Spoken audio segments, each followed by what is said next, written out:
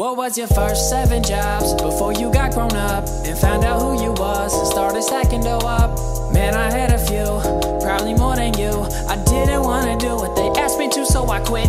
Whether you're a lifeguard or a busboy, man, life's hard. That's why I always quit. I'm Wozniak, I hate jobs. I'm trying to make some ends, they are making odds. I guess it's fake as fuck, here I'm taking off. Cause you can't grant wishes while you're washing dishes. And you ain't so on if you mow lawns. But that option is better than no job. So it goes on and on and on.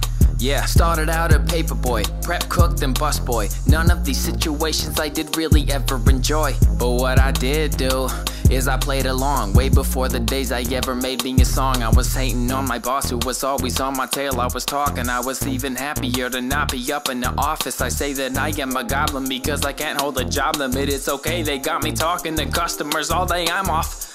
My rocker then got a shot of oxygen at the bar after work, and I think that I'm caught up in a state of poverty. But maybe it's the fault of my father, he never talked to me about how to balance my bank book. Like, thanks took all the time that you had. Okay, you never planned, neither do I when I What rap. was your first seven jobs before you got grown up and found out who you was and started stacking dough up?